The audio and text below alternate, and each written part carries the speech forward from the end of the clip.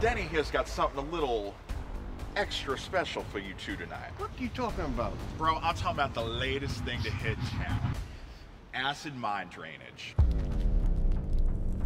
Oh, watch out, Denny! Oh my god. Denny, they're pulling us over. What are we gonna do? Be careful out there today. I will. It's not like anything major's gonna happen. I need you to call the sheriff back. There's another dead body. I am telling you, it's a killer raccoon?